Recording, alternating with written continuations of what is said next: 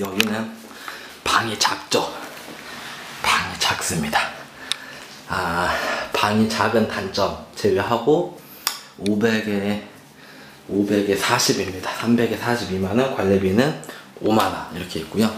옷장이 책상을 안 넣고 옷장을 두 개를 넣었어요. 그래서 책상을 굳이 필요 없다 하신 분들한테는 괜찮고 여기는 어, 집의 넓이보다 나는 깔끔한 게 우선이다. 뭐 화이트 톤 이런 거 좋아한다 하신 분들한테 추천합니다. 하지만 방은 넓지는 않습니다.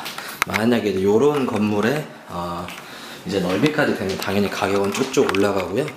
신축급 건물 지상층에 500에 어, 40. 그 가격입니다.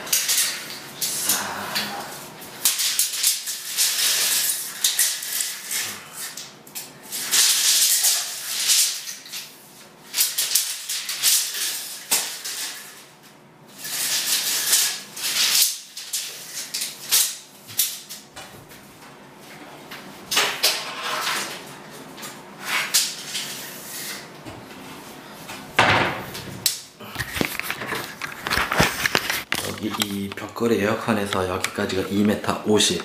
이 벽에서 요 옷장까지가 2m 정도 되고 이 옷장의 길이가 한 60 정도 되더라고요. 그러니까 2m 50, 2m 60 정도 된다고 보시면 될 것 같아요.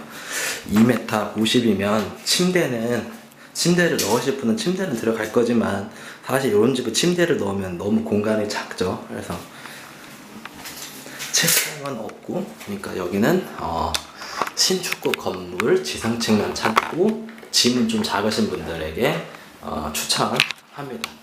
불을 꺼도 그렇게 어, 막 어둡지는 않습니다. 불을 다 꺼볼까요? 불을 다 꺼도 어, 그렇게 어둡지는 않습니다. 참고하셔서 보시면 다시 말하지만 이제 이것보다 같은 가격으로 더 넓은 집은 없을까요 하면 없어요. 있다면 이제 원래 가격이 아니고 더 깎아 가끔 이제 깎여서 나온 그런 게 있겠지. 어, 너무 심한 허위에 어, 물들지 마십시오.